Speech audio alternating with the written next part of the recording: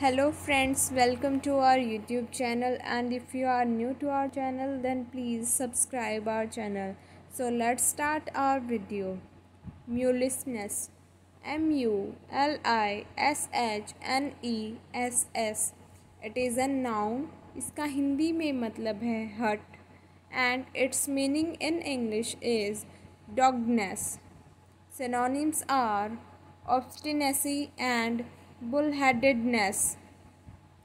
Antonyms are ir- irresolution and dupity.